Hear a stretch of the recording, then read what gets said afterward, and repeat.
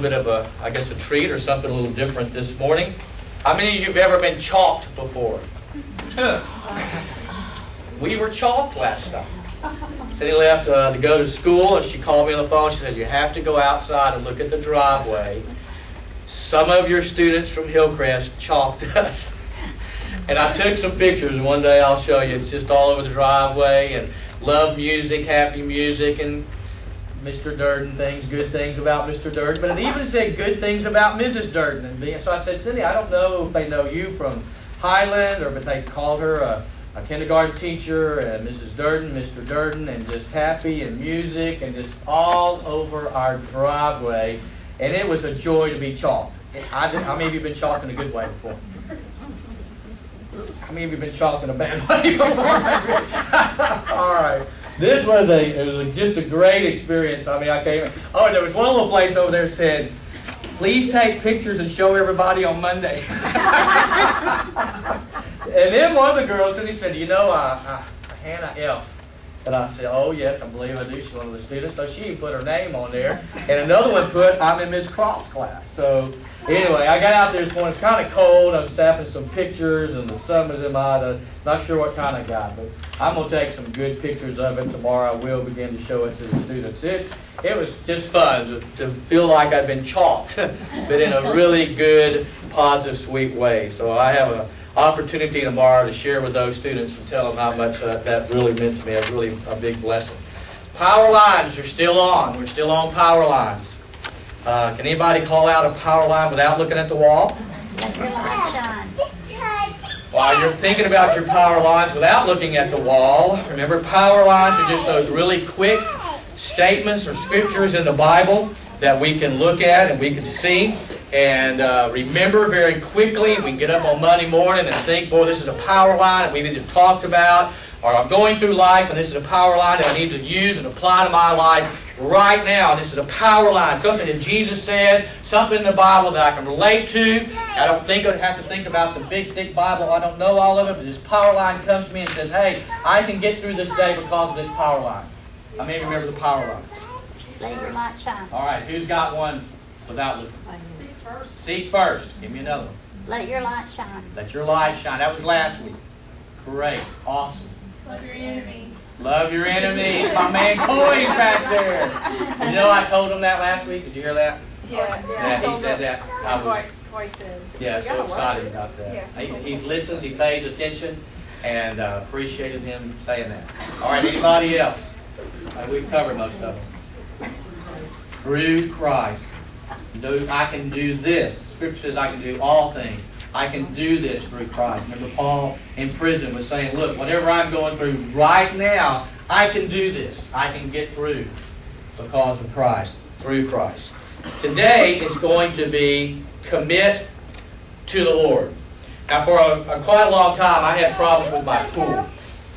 The house we moved into that we've been in now 10 years, really have kind of struggled for quite a while over the years, trying to get it cleared up, trying to get things taken care of. And the water wouldn't clean up. I had stains and chemicals weren't uh, always doing their job. I tried many things to remedy the problem. And finally someone told me to change the sand in the filter.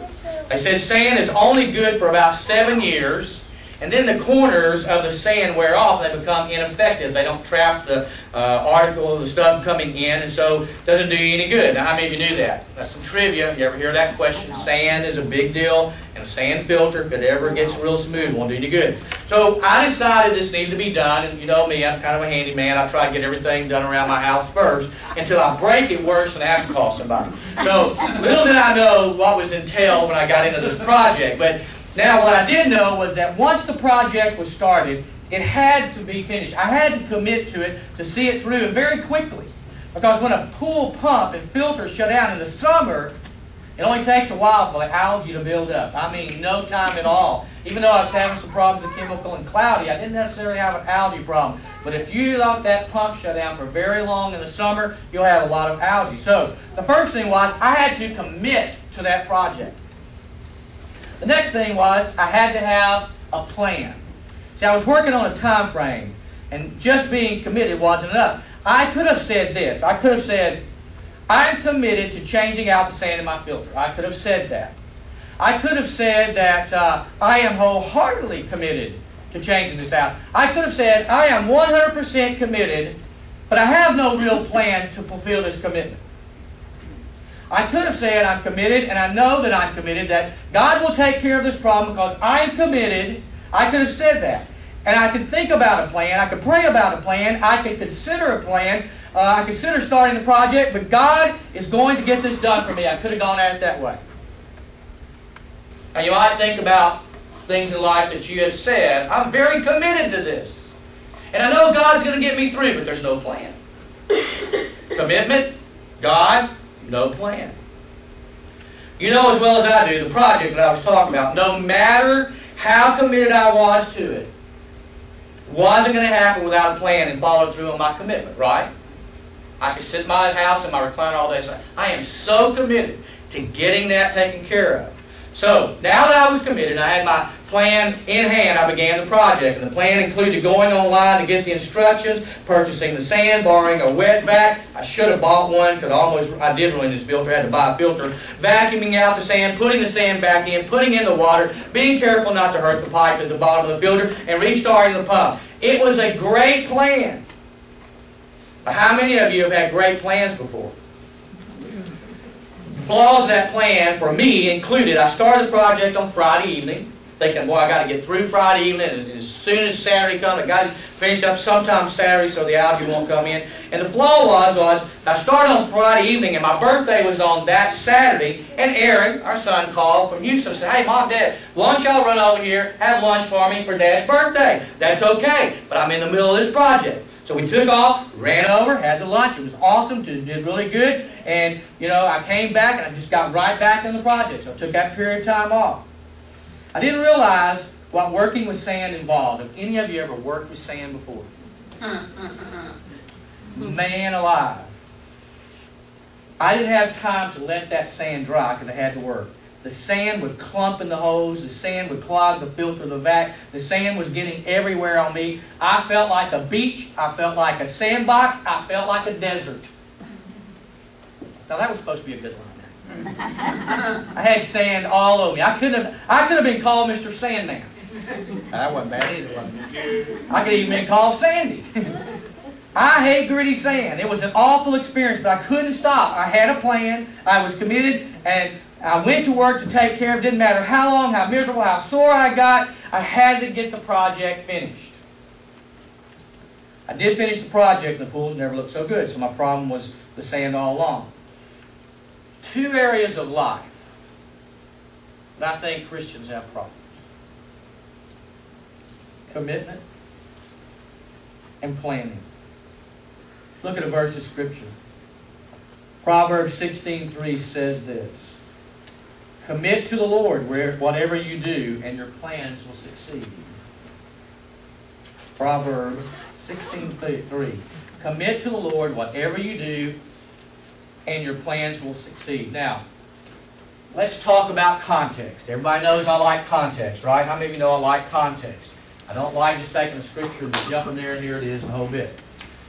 Today, though, we're going to talk about context to a certain degree. And I hope you're going to learn something here in this first part. And then I'm going to go to two real quick things about committing plans. But I think there's something we all need to know that I kind of learned and I figured out as I went through and I did my research and my study about Proverbs. How many of you are really familiar with Proverbs? I found some things out. You might want to take note because I, this is some things that were really pretty new to me about Proverbs.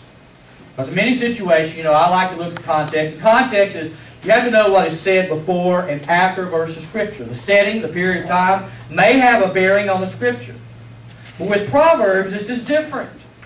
Proverbs aren't about a setting, certain people, so knowing what goes on and before doesn't really help to understand Proverbs. So you kind of get the idea. You go to Matthew. It's the storyline pretty much. It's Jesus. It's his, his birth, his time on earth, his walk, and, and his crucifixion. And, and if you read here, you got to back up a little bit to get into the story and, and figure out, you know, what's happening and what's going on. But that's not true of Proverbs.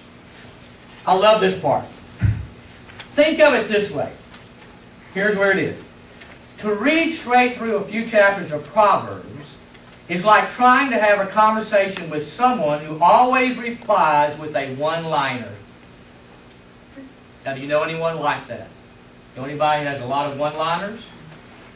When you read through Proverbs, it's like having a conversation with someone who's always putting little one-liners out to you. There was a deacon at First Baptist Nederland years ago. Some of you went there, you'll know Ray Ward. Ray Ward and I had, a, had just a great, great guy. Played in our ukulele band and, and sang in the choir. Just a, Ray was just one of those guys, he was just fun to be around. But when Ray and I were together, it was a battle. It was a battle of puns and one-liners, back and forth. So we were kind of like the book of Proverbs. In other words, the verses don't go together. They stand on their own. But Ray and I would talk, and he would one-liner something. Next thing I know, I'd see something, I'd kind of go back and I'd one-liner. And we just had this battle back and forth. See, Proverbs are a form of literature that is essentially different from promises. Now, this is something here to hold on to. One of the common mistakes that many Christians make when they read the Proverbs is to take them as promises. Hold on to that thought. Some are promises as well as proverbs. When the proverb expresses a truth that is always consistent, but it is important to be able to distinguish a proverb from a promise. Hold that thought.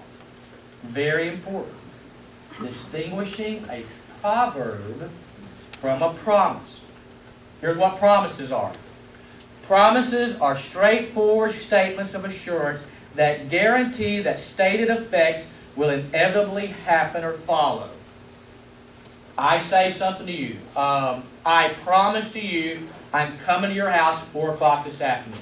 401, 402, 403. If I'm not there, what are you going to say? You broke your promise. You said you'd be there at 4 o'clock. You told me something's going to happen, and it's supposed to happen at a certain time, and you promised it was inevitable for that to happen. That is a promise, but you broke your promise. Proverbs and promises are really different forms of expression and different types of literature. So let me try to clarify the difference between a proverb and a promise. So this is a little bit of an illustration, so kind of hang in here and follow this. The difference between a proverb and a promise.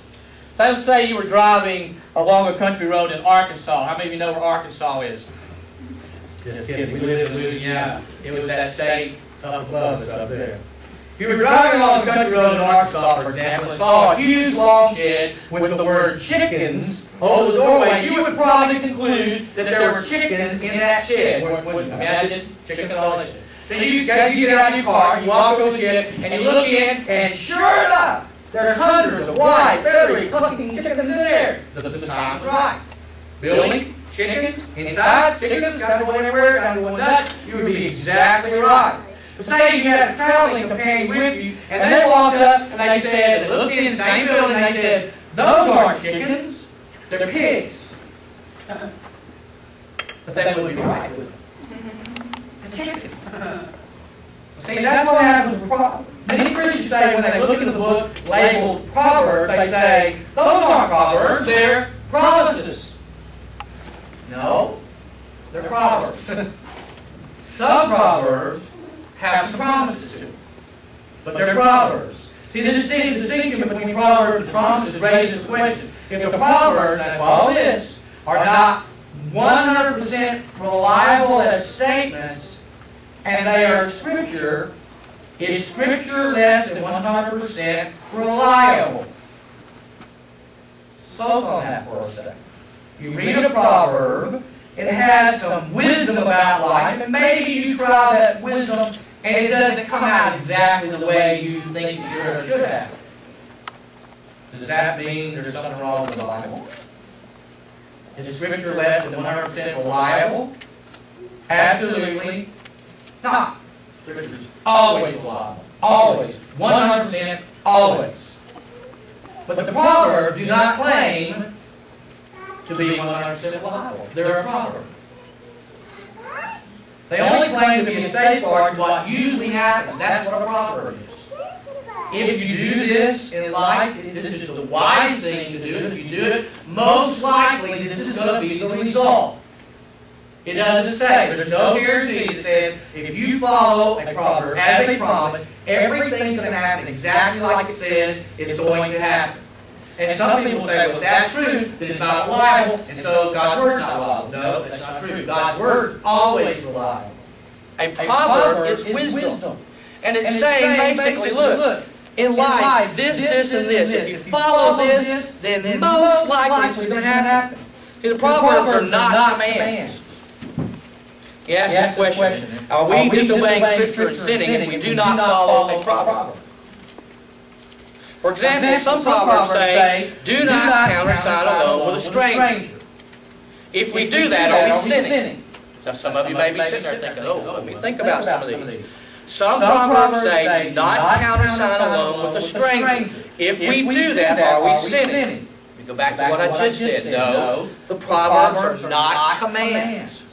They are revelations of what we'll usually follow if we do certain things. We may choose to countersign with a stranger under certain cir- circumstances, but the Proverbs warn us about what can normally expect to happen in most cases if we do.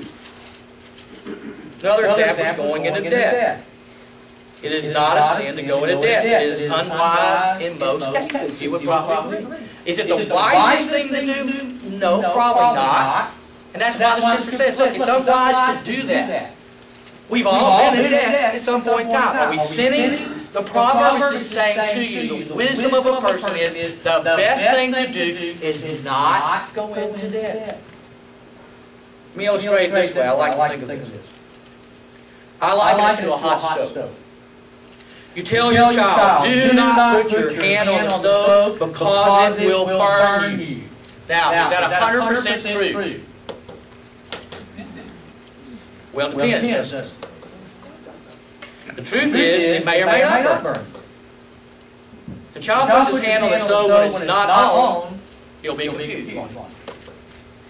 Mom and dad said, don't put my hand on the stove, it will burn me. Stove's not on. I didn't get burned. Truth is, it comes back later, the stove is on. Mom and dad were right. It did burn me. So the proverb is saying, hey, like a parent would say, the wise thing to do is never, ever touch a stove. Why? It could burn. May or may not, as long as it's on not. You know what? Best not to take that chance to do that, correct? So, Proverbs are words of wisdom from God that if followed will most likely keep you out of trouble. But you may not follow them and everything work out okay. Stove may not be Okay. Stove may be on, burn. See, the book of Proverbs is about godly wisdom, how to get it and how to use it. It's about priorities and principles, not get rich quick schemes. and success formulas, as the name it, claim it theology would have you believe. It tells you not how to make a living, but how to be skillful in the lost art of making a life. That's, That's so profound. I don't care who you are. Tells you not how to make it living, but how to be skillful in the lost art of making a life. With all that said about Proverbs, now, now maybe have a little bit more understanding. Let's look at commit, commit, plan, first, first commit. There are several definitions of commit. The one is applied here is to give, trust, charge. This one is about committing your time, effort, something. It's about putting your trust in God. Putting God in charge, which will lead to committing totally to Him. I am committing my life to God because I trust that He will lead, guide, and direct me. That's what this commit here means. So this this commitment is a trust and a faith commitment. Commitment isn't something, you can a couple things here. Commitment isn't something you put on and take off like a suit. I used to wear a suit every Sunday in church. I used to wear a suit or a coat, work coat every day to go to church to work. Commitment's not like me putting that that morning and not coming back and taking it off. In a friendship, you wouldn't say to a friend, hey, hey, today I'm committed to you as a friend. And then tomorrow I say, remember that commitment thing? It's all off. Yeah, not today. Where, hey, hey, look, I want you to kind of still hang around. A friend. But yesterday, everything's on. Today, everything is kind of off. Maybe tomorrow, hey, I may see you again, and maybe do that, and maybe become your friends. It's kind of off. In marriage, you shouldn't and wouldn't take your marriage vows one day, within a week, say, hey, hey, Honey, you know that commitment we made. I just think it's kind of crazy, and I just, I just drop off. All the commitment from our. I just, I just think, I just, I just don't believe. it. Now, you might try something like that, why not tell tell them? Real, true commitment is an on and off again thing. We shouldn't say to God, you know, under certain circumstances, God, this, this one is yours.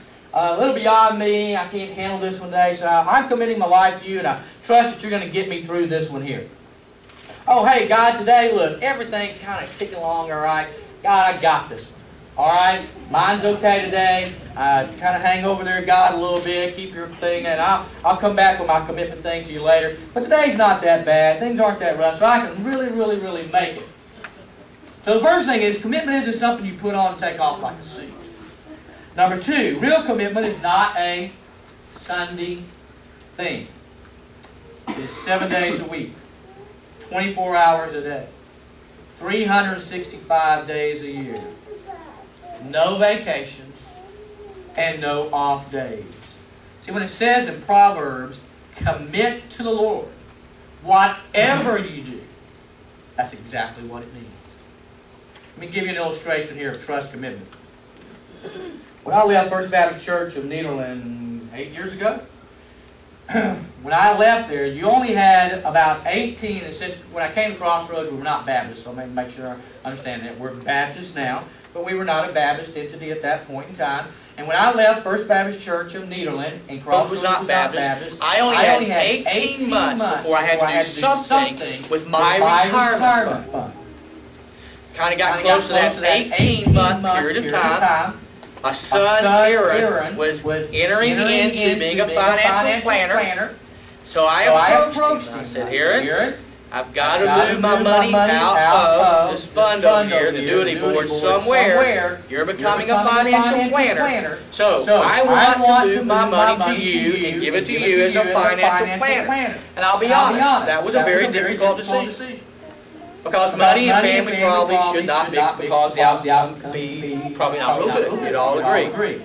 So there was a real trust factor regarding committing my retirement in the hands of my son. But I threatened. And I said, Aaron, do a good job with my retirement money or I will move in with you when I'm old. If you lose it, I have nothing. I will have no place to go. Set me up a bit. Boy's done pretty well with it, I think, so far. The threat, I think, has kind of hung in there with it. He's done it.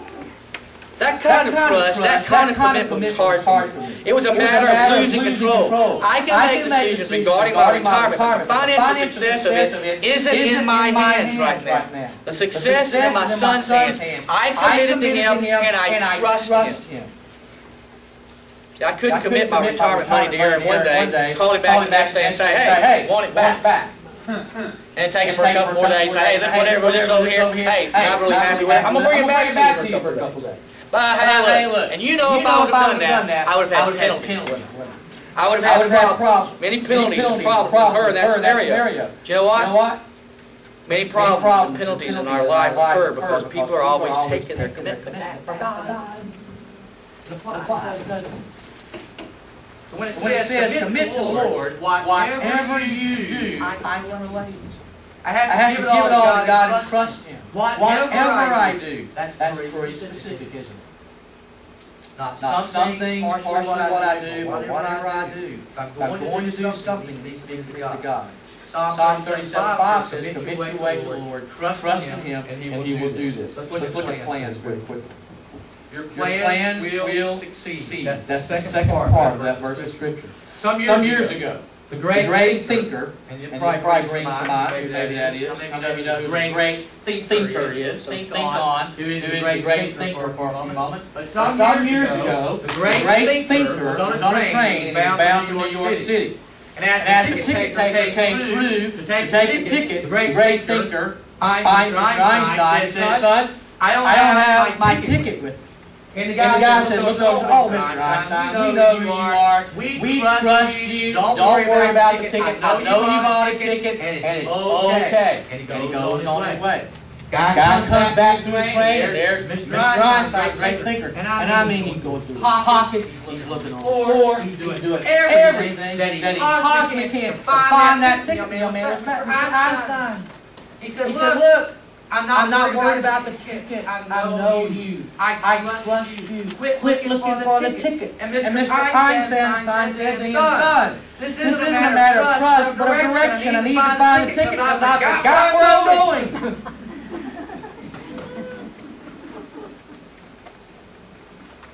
Do you have a clear sense of where you want to go in life, a plan? Are you headed toward their de- destination, moving away from that destination, or are you simply standing idle? The first foundational secret for wise living is simply this. Wise people have a sense of their God-given destination and have made plans of going there.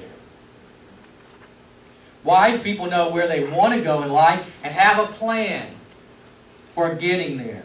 You notice the scripture doesn't say, commit to the Lord whatever you do and you will succeed. That's not what it says. Now you may not notice, but that's not what it says. It doesn't say, commit to the Lord whatever you do and you will succeed. Does it say that? Why? I'm leaving something out. huh? It says, commit to the Lord whatever you do and your plans will succeed.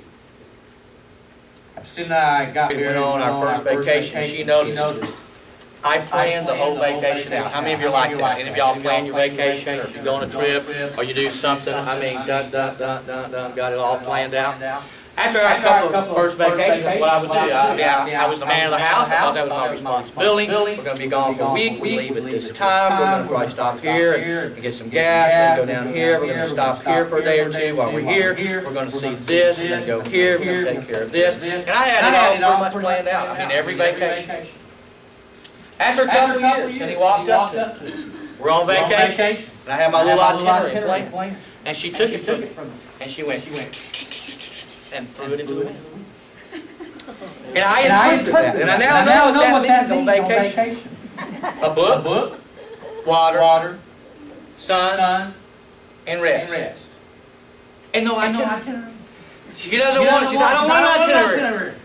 I don't want a plan on vacation. When I go on vacation, give her a book, put her night near a lake, river, a beach, she just- she likes to be, you know, somewhere where she can kind of lay out in the sun and get rest. That is her, it's not to say that she doesn't want to go see things or do things, but she wants to be very spontaneous. No plan, no itinerary.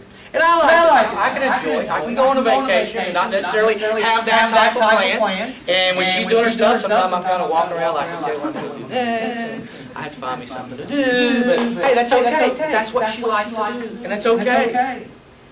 But many people live their life totally without plans. Like those vacations. There's no plan to study God's Word. There's no plan to attend church regularly. No plan to witness. Plan to minister. I don't have one of those. A prayer plan. I've thought about praying one time. No plan to increase their walk with the Lord, walk with the Lord. You mean, am I supposed to have a walk with the Lord? Just spontaneous Christian living, not growing in the Lord, no plan, no action. Maybe even the word, I'm committed. Committed, okay. What are you committed to do? I, I, nothing. Is my pool, my pool going to get done without the plant? No. But you, you as a Christian, you say, "I- I- you know what, I might would even like to grow as a Christian. Have a plant? Mm-hmm. No. Don't- really have a plan. Greatest planner in the Bible that I've come across is Solomon. Once Solomon's empire was tranquil or got, got all going, he began to build the holy temple, and, and he built quite a few things. Solomon was known as a builder. He was renowned for his building projects. If you look at Solomon, you'll discover that the wise king worked from a well-developed plan. Listen very carefully. He gathered the necessary resources. He organized the people. I mean, thousands and thousands and thousands of people. He designed the facility. He set a time to begin his project. He completed the project, um, and he finished it up. There was a plan. Solomon, if you will follow Solomon in the Bible, one of the greatest planners, buildings built the whole time under Solomon. He had plans. Solomon clearly understood the importance of Not just a commitment, but a plan. Remember what I said earlier? You can commit all day, but if you don't plan and execute, all you will end up with is a commitment.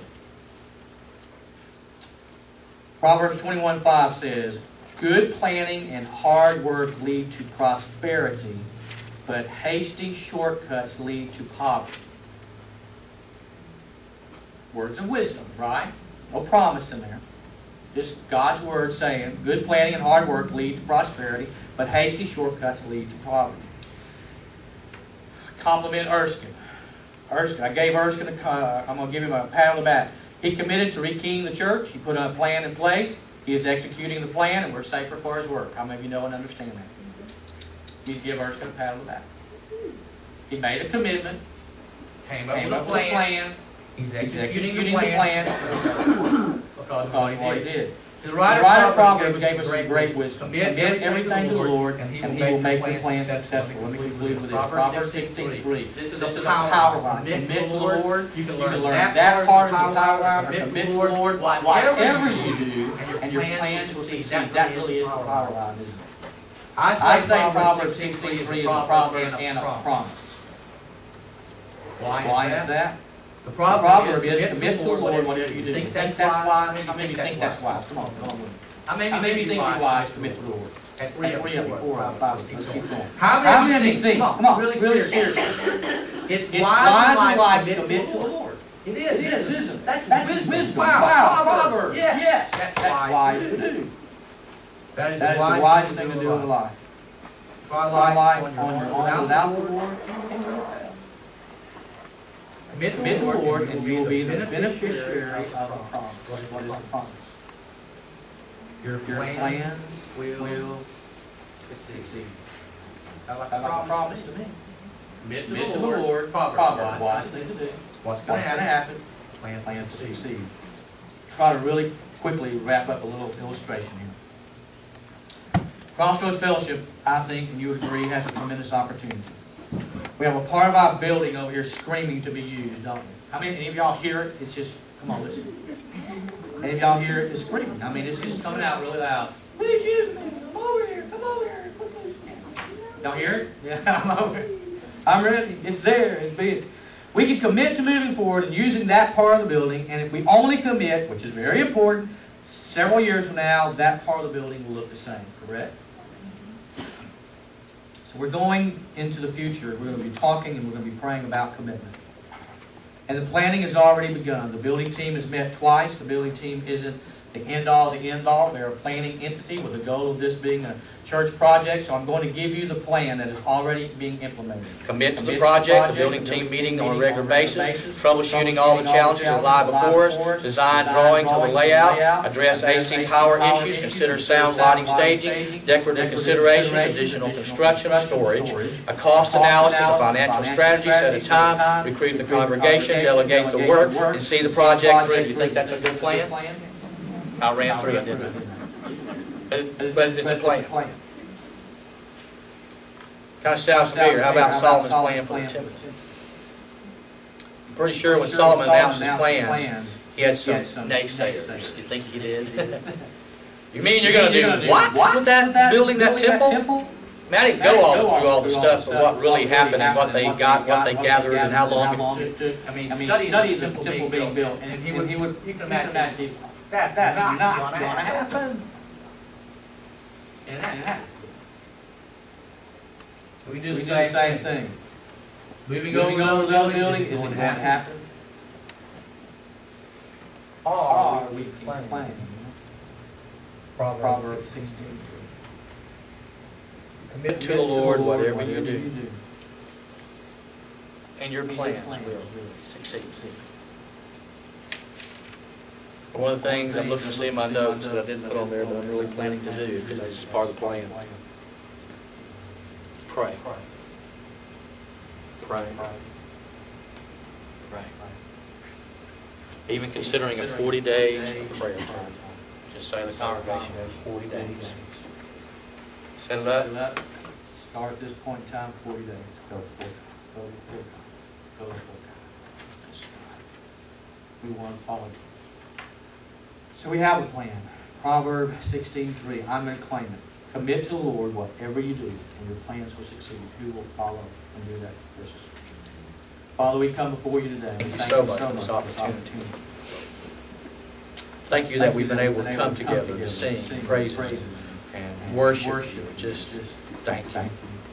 Thank you for the blessings. Thank you for being the great, mighty, powerful God that you are in our lives. And God, we always thank you for your word. And Just even knowing and understanding it more, for me at least, helps me, God, to understand, now understand Proverbs, the wisdom that lies in Proverbs, and sometimes the promises that go along with the wisdom. And now, God, as we enter into our time of invitation, I just pray if there's anyone that's here that's never made that first that first step into salvation, today could be the day of salvation. And they can say, look, I want to begin my commitment, my walk, my life, and my trust in Jesus Christ. They can come forward today for salvation. God, I pray for Christians who are here say, you know, never truly understood this commitment plan maybe May need to start with commitment, but definitely have to work on the plan part of it. God, I pray at this point in time that you work in any Christian's life through the Holy Spirit. Move in their heart and life for them to come. Just make this an altar if they want to pray. God, I'll pray with anyone as their pastor. But God, if this is a rededication time, I pray, God, that you just move in their lives. I pray for anyone that's here today that just has some needs in their lives, God, that, that we are here as your people, as your facilitators to help, to encourage, and lift those up that have needs in their hearts and lives. God, we pray for anyone that's here today that just needs you. So, God, we turn this time of invitation over to you. It's yours. God, we just want to give you all, trust in you and depend upon you, be committed to you, and have plans to know what to do as a congregation. We love you. For it's in your name I pray.